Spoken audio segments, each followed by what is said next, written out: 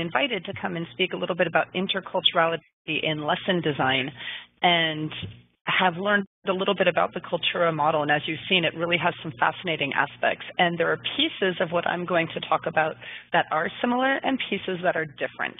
And we also, and that's okay because as teachers, we are going to look at all of the tools and approaches that are available to us, and we're going to choose the tools that best meet the needs of all of our students at any given time.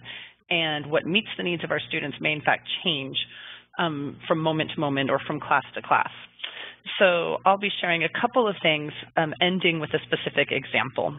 And one of the things I actually ended up looking at just for my own benefit was uh, what the National Council of State Supervisors of Foreign Language says about interculturality.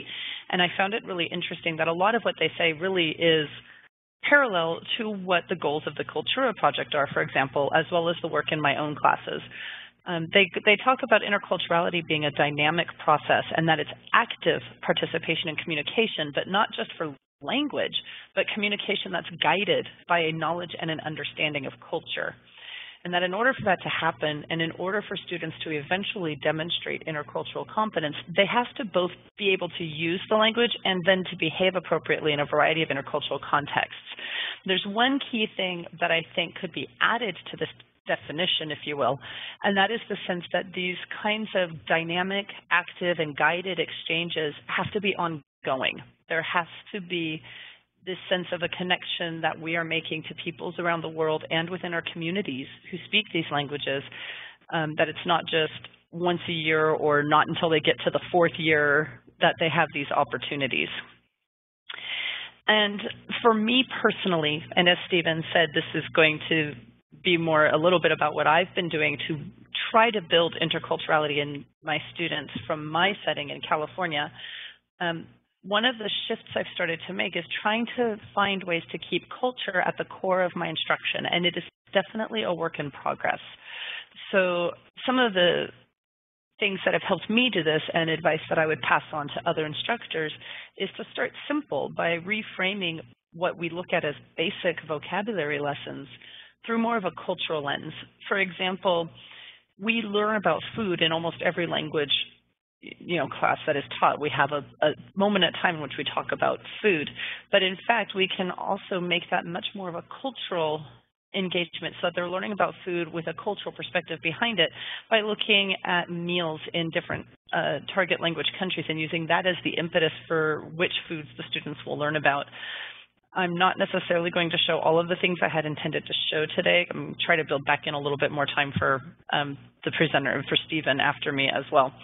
But this is in French also, so my apologies. But one of the things I started to introduce my students' exploration of food and nutrition was looking at foods from around the world, and we used that as part of how we learned what food items are and which foods we'll be able to say. And so we did we did some foods from Morocco, from Canada, um, from France, as opposed to the typical food list you might normally present with your students that is relatively devoid of culture with perhaps a couple of cultural food items thrown in. We also then look at nutrition as a cultural perspective because as it turns out, and this was actually even a surprise to me, every country has nutritional guidelines that they publish for their population. What makes a balanced meal? And as it turns out, the ideal balanced diet does not look the same around the world because, of course, everything that we do and every interaction that we have is colored and guided by our own cultural perspectives. And even something that seems so, so straightforward as nutrition and a balanced diet still has a cultural perspective and lens behind it. So we actually study in my classes um, cultural, the guide alimentaire, uh, the food guidelines. So this is just my drive, but I have food guidelines from different countries um, showing what they see as the base of their, food if they use a pyramid, what should be the biggest portion of their food for the day and even what elements are included there. Things like eggs are in different parts of the pyramid bananas and fruits in the same family as bananas are in different parts of the pyramid. One pyramid actually has sugar listed as one of the main foods for the day, and there's a reason for that, and it's a very important reason culturally for the people in that country and the reality of their life. But it does help open my students' eyes to it gives them a window into another country's and another culture's perspectives and their lives. So you can learn not just places in town, but towns as a cultural concept. The layout, the way streets and buildings are named all reflect the culture. We can do school subjects or we can do a comparison of educational systems looking at the classes in terms of what grade levels look like in different countries and how students are divided into classes, their schedules, how grades are determined and communicated. And in doing all of these things, we're still going to learn words and we're still going to learn structures that help us communicate, but we're going to start refocusing the way we learn so that there's a cultural lens. Now that was just one, that was just a quick overview of some things I start doing even at the novice levels, my year ones, for example, and I do teach at a high school. And I was talking to Stephen um, when we were preparing for this, and I was telling him about how my class is currently pen pals with a school in France. They're also working with a high school director in Togo on another project. But right now they're, they're pen pals with a high school in France. And some of the work we're doing actually had some really interesting parallels to Cultura.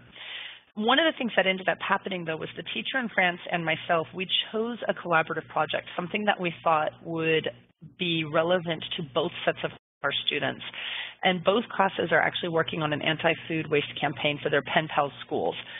Now, as you look at that, you're going to realize right away the end product is definitely not along the Cultura model because in that case, they're going to be working on the campaign with the intention of it being used by the other school. And we were very purposeful in that. We wanted our students to have to try to write for an audience of target language speakers in a way that would be reflective of their understanding of the culture and what would appeal to the speakers and draw the speakers into the various components of their campaign and be comprehensible. So we've been sending media to each other. We've created and exchanged surveys, and you'll see in a minute that the languages did vary. So that piece is a lot like Cultura. There are points where we were answering things in English and they are answering things in French so that they can actually freely share ideas and opinions in their native language without being constrained by trying to do so in their new language. Um, creating logos and slogans and then seeking feedback from each other. So I'm going to show you some of these examples. Um, the students' responses to their pen pal surveys and the students' responses to each other's work has been providing insight into each group's cultural perspectives.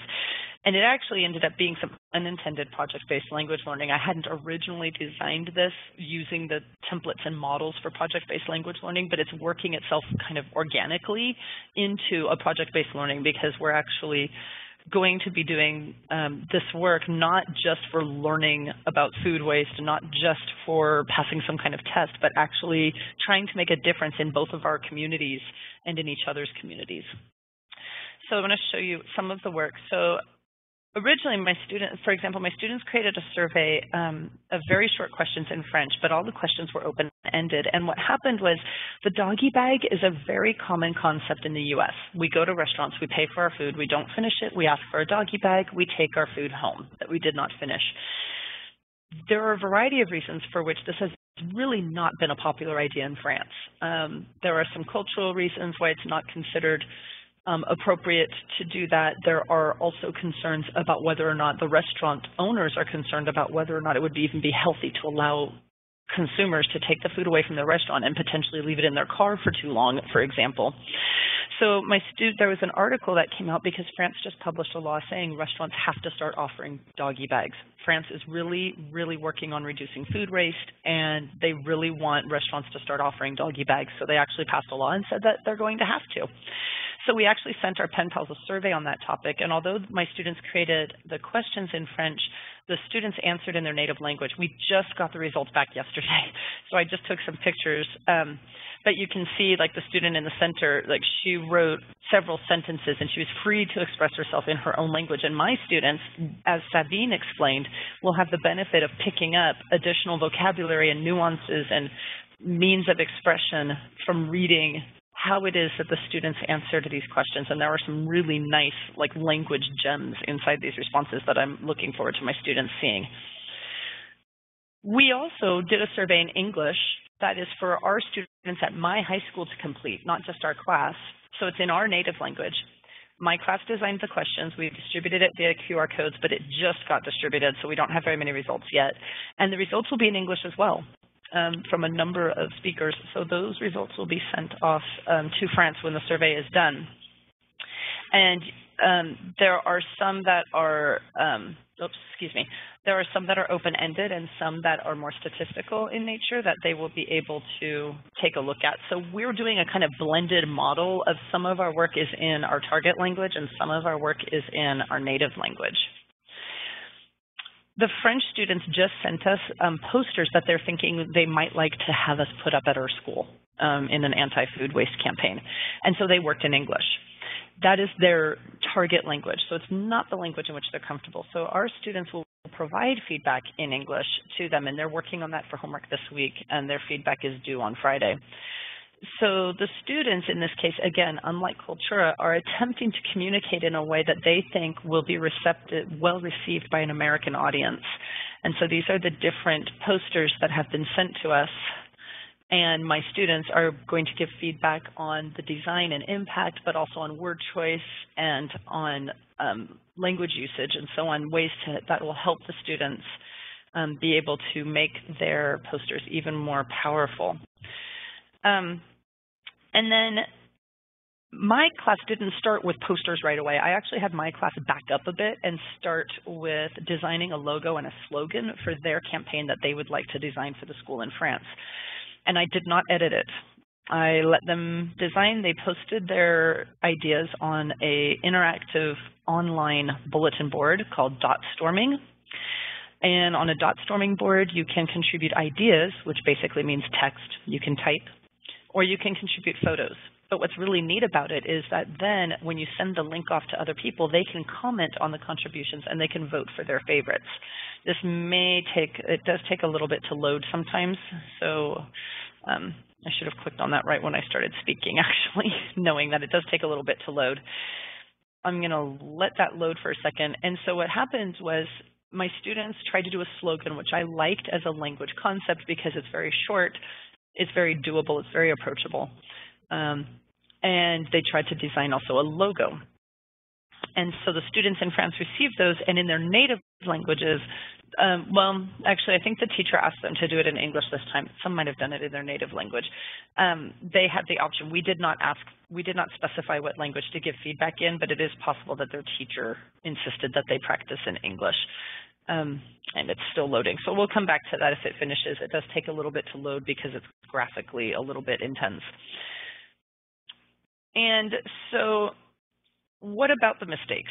Because unlike Cultura, my students are working in both languages, and our Pen Pals teacher, their students, her students are working in both languages. So mistakes are evident, and they do happen when the students create work in their new language. Um, the feedback provided by the other class in the native language is really helpful, and some of it is linguistic, but others of it is more culturally nuanced. Um, we had some interesting responses because my you know, students tried to represent things that turned out to be idiomatic um, in their native languages, and of course it's very difficult to make those kinds of changes. But both chances get the chance to be the expert and write freely and deeply in their native language for some of our tasks, they also get the chance to try to meaningfully create products in their target language for an authentic purpose and audience. And we're really focusing on that aspect of collaboration with us helping the school in France make the best possible product for an American audience, and them helping my students create the best possible products for a French-speaking audience. So we have a kind of blended model where both kinds of things are happening um, and where students are have a role where they can really freely write and express themselves and um, provide some of that kind of deeper feedback and other times where they're working on developing their language. Yeah, it's going to be persnickety and not open. So fortunately you have, I believe you'll have access um, to these presentations or they'll ask us later to share them with you and you'll be able to try to take a look at it later. Um, so one of the other things I wanted to mention that I didn't um, hone in on before and didn't mention, uh, Sabine actually had talked about the um, aspect of the photos. And photos are a really incredible way to start getting a window into culture because as she showed, ask students to take a picture of the same thing in two different countries countries and you get a completely different response based on how they see that object or that aspect of their life. And I had some pretty good luck designing a similar project that I used to call Through Their Eyes, and it really was just that. It was students trying to reveal American culture and values by using pictures to show their pen pals their life through their own eyes. And our pen pals would do the same thing. Um, we've done it with classes in France, and we even did it with a village in Africa, which was very interesting because there were some differences there. Um, so the key is to go, we really want to help our students go beyond just being, being culturally aware in our society now, it's no longer enough to be aware of other cultures or aware that there are other values.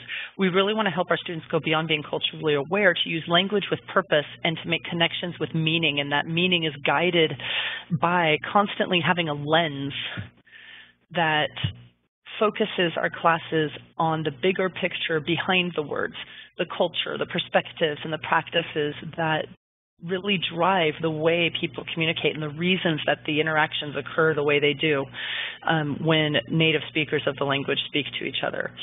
So I think, oh, I, I barely did it. Um, sorry, I meant to try to go even faster, so I'm going to stop there so that Stephen has time to present something as well. And thank you. Thank you very much, Nicole. Uh, and all right, so um, as a sort of discussant, I will note that uh, there were points of similarity and points of difference in uh, what Nicole is describing and what uh, Sabine called classic cultura. And some of that centers around the use of L1 and L2 by the students as they work. Uh, and I think you know there will be a lot more conversation about this as we go forward. Uh, it it is uh, very illuminating to learn how classic cultura works, uh, but it's also okay to consider ways in which you might adapt the cultura model uh, to you, you know your specific circumstances to meet needs. But uh, I think it's helpful. I think all of us probably now are realizing that if you conduct an online exchange or a pen pal kind of thing, and you ask the students to use their own first language in that stage, then the language that appears can be used as input for learning, uh, you know, by your students, by both sides, because both languages are there, and that once you have that input, then you can do the language work with it, and you'll you'll be getting you'll be uh, moving from uh, sort of an input phase where you're getting that language from the exchange and moving towards an output phase where you try to articulate, summarize what happened. And for that, of course, the students would be using the target language. Uh, I'd like to share uh, uh with uh, Nicole a question from Dali Tan asking about assessment. Can you talk a little bit about how and what you're assessing in your project? Um, that depends on the phases. So one of the interesting things about the work we're doing on this project is a lot of it is language, I guess I would say more language practice, um, and ultimately it's leading them to the point where they will have a, some final products, which will be the actual artifacts and items from their anti-food waste campaign, excuse me, campaign. I anticipate that my students will, like the French students just did, possibly create posters, possibly create online media, or even do a social media campaign or a blend of those. And the kinds of things that they ultimately decide to use as the final published products that they want their French audience to see are the things that I will be assessing as a presentational writing grade and or presentational speaking if they choose to make any videos such as a public service announcement that they hope that their classes will see. Um, in the meantime, in my classes, I do standards-based grading, and so all of the formative work and the prep work and the practice work leading up gets feedback, but it doesn't actually have points in the grade, so to speak. That's not something we can really discuss here at this time, but I hope it gives you kind of some sense of of where we're at. So right now they're just in the design phase and they're getting feedback along the way, but there isn't a grade until they actually have a product that they intend for an audience to actually see and work with. Great, thank you for that answer. Uh, let's see. Um, there's a question from Ludmila. How do you select topics for intercultural discussions? Do you have any specific recommendations? Um, actually, I was just writing a, a chat uh, to that effect. So, because you mentioned the pen pal thing, and one of the things I didn't mention was, as far as our traditional letters, if you will, the actual pen paling that we do off and on throughout the year, some of the letters are entirely in English, some are entirely in French for both sides some are a blend. And when I'm looking for a blend, it could be a variety of things. It could be, for example, or even all in English or all in French. Sometimes current events on one side of the aisle or the other influence or provide a topic, and we might write about that. And usually when we do so, we're going to write about that in our native language because it's, it's not necessarily something that we have been learning about and practicing and that they are, my students are prepared to express their feelings about. And often what I'll do is I'll, my, the teacher and I will talk about what our various students are learning to do right now in the new link in their new language, and, and so we'll design a couple of letter topics where they are going to write in their target language about the topics that they're learning how to use already in class. For example, um, if, if they're learning to, as something as simple as if they're learning to talk about the past, you could do this with a lower level class than the one I'm working with right now.